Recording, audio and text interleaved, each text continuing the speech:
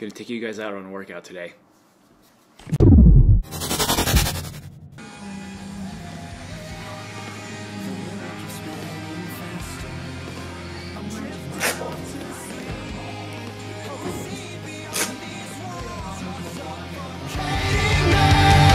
Why can't you see